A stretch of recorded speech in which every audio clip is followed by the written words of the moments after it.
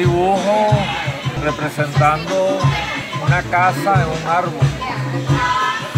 Se me ocurrió hacer un dibujo relacionado con el lugar donde estamos.